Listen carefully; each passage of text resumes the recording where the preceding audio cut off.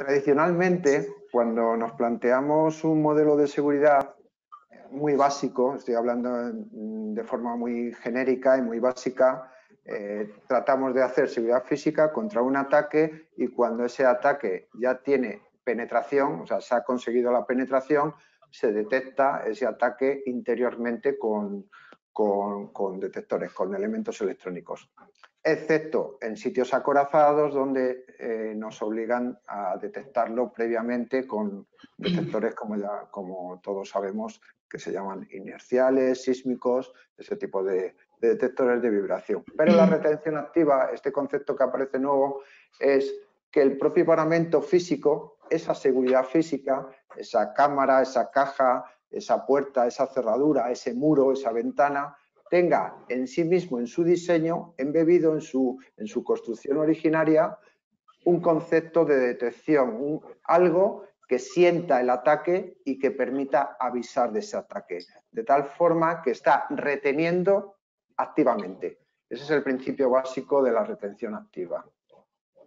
Si lo aplicáramos a un hueco, en este caso he puesto el de ventana porque, porque me permite poneros algunos ejemplos más, pues el hueco de ventana en sí mismo hay que verlo de una forma bastante completa. Es decir, yo ataco la ventana, la puedo atacar o por su sistema de apertura, su sistema de giro, no tanto los cierres, sino el giro, también los cierres, su, su envolvente transparente, el cristal, y su estructura, en la que unimos la perfilería y sus cerrajes. Entonces, eh, claro, aquí empieza ya a tener mucha, mucha relevancia la resistencia física que, que, aplicamos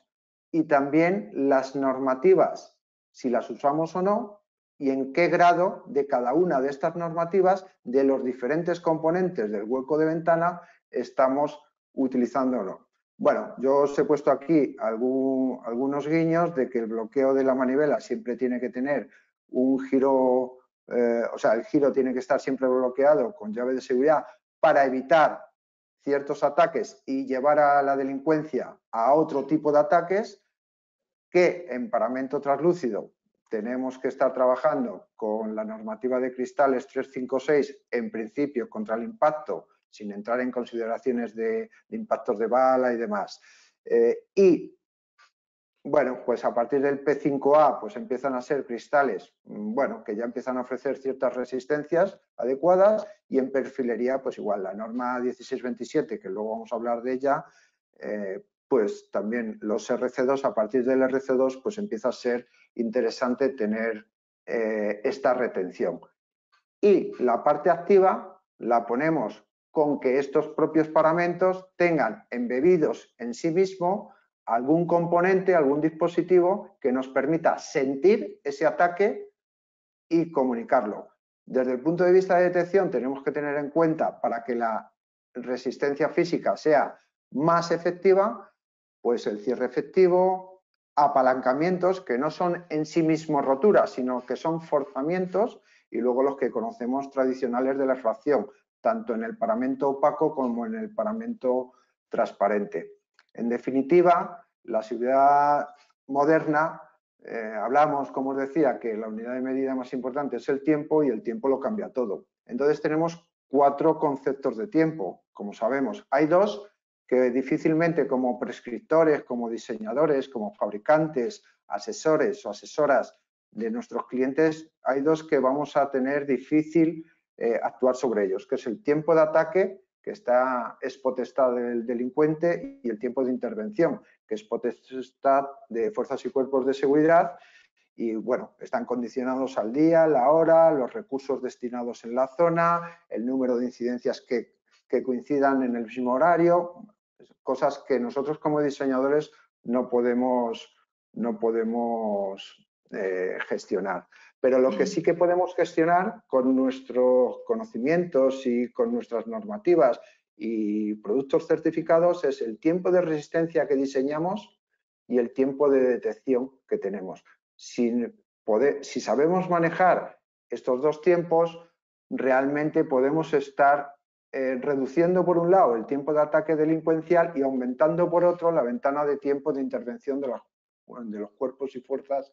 de seguridad. Por lo tanto, el tiempo y la retención activa son dos aspectos de la seguridad física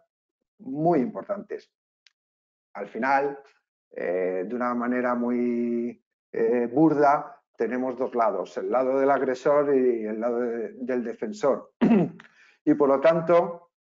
eh, nosotros tenemos que utilizar la seguridad física para diseñar de forma que le quitemos tiempo al delincuente. Cada vez que utilizamos normativas contra la infracción con o, sin, en principio con retención activa, que es, como digo, es eh, la evolución de la seguridad física, estamos, en la medida que utilizamos normativas y unos grados adecuados de estas normativas, estamos llevando el tiempo al lado de la defensa. Y en la medida que diseñamos con criterios, mm, bueno, sin, sin aplicar normativas, pues de alguna manera estamos trabajando más en el concepto de, incertidumbre, no tanto de certezas, porque no estamos trabajando con productos que han sido ensayados con, unos parámetros adecuados y posteriormente han sido certificados, sino que estamos trabajando con un concepto de lo que más o menos creemos entender que es pero eso lo que estamos realmente haciendo es que estamos derivando el tiempo al lado del, agresor, está, el tiempo está a favor del agresor y no está a favor del defensor. Al final, la seguridad física es prevenir el, delito a través del diseño de las infraestructuras, sean de vallados, de envolventes, de cerramientos, de contenedores de seguridad, infraestructuras en general, recintos acorazados, bueno, abarca a muchísimos paramentos de cualquier eh, edificación que, tengamos por delante. Pero además, algo muy interesante y muy estratégico, sobre todo para, esta década que viene, la 2030, donde eh, Europa está muy preocupado por, la economía también, el diseño con seguridad física eh, tiene algunas cualidades benéficas interesantes. Por ejemplo, la notoriedad. Cuando lo diseñamos bien, generamos notoriedad, sobre todo cuando se combina con vigilancia natural. Hacemos que el delincuente tenga que pasar tiempo, tenga que hacer ruido, tenga que transportar, tenga que estar frente a un paramento para violentarlo y eso, unido al diseño con vigilancia natural, genera notoriedad y, por lo tanto, genera disuasión.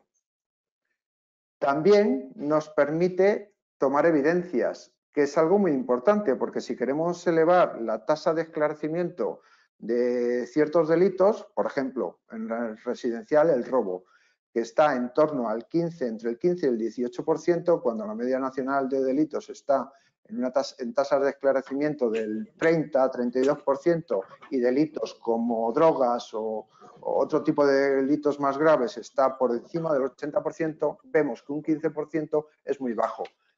En principio puede ser por muchas razones, de recursos, de muchas razones, pero también de la falta de evidencias, porque la seguridad basada en electrónica permite menos evidencias que la seguridad basada en física, porque para violentar la física hay que hacer efracción, hay que hacer rotura. Y si hay rotura, hay evidencia. Y eso permite eh, un aumento en, el ratio de esclarecimiento de las investigaciones. Y también la seguridad física, como decía antes, eh, todos estamos en un proceso ahora de, economía circular, de sostenibilidad de los diseños y aparece el concepto de ecodiseño. El ecodiseño tiene que ver con, con, diseños de seguridad, aplicado a la seguridad lógicamente, con diseños de seguridad que estén fuertemente basados en física y no tanto en electrónica. ¿Por qué? Por, bueno, muchas razones hay, al menos 14 criterios o compromisos, pero yo os pongo aquí que fundamentalmente que la física tiene una obsolescencia natural y no está eh, programada y además es de consumo casi nulo. Con lo cual son dos aspectos muy importantes de la seguridad física cuando se hace, vuelvo a repetir, con normativa y con criterios adecuados eh, que hay que tener muy en cuenta, sobre todo si queremos poner en valor nuestros, como digo, nuestros diseños. Por ir terminando, eh, seguridad física es sinónimo de efectividad, de tal forma que el primer objetivo que tenemos que tener como profesionales es buscar la efectividad. Y no siempre la efectividad se consigue aumentando la sección de hierro, de aluminio,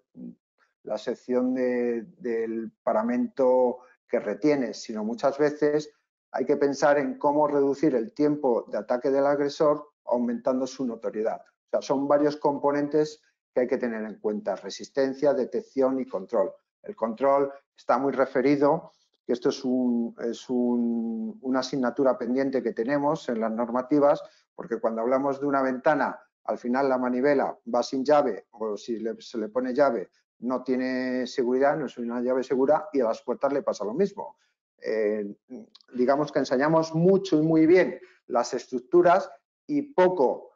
eh, y, y, ensayamos poco eh, la capacidad de, descontrol de, un medio de identificación, sea físico o electrónico, que a la postre es el que abre la puerta y hace un bypass sobre toda la resistencia física de la efectividad. En contenedores de seguridad, esto está mucho más eh, regulado o considerado, lo que son las cámaras acorazadas, eh, cajas fuertes y demás, pero en ventanas y puertas y en cierres está menos, eh, digamos que, hay menos sensibilidad o hay menos vinculación hacia, hacia este punto. Pero es muy importante tener los tres parámetros para gestionar bien eh, la efectividad de, un diseño de seguridad física.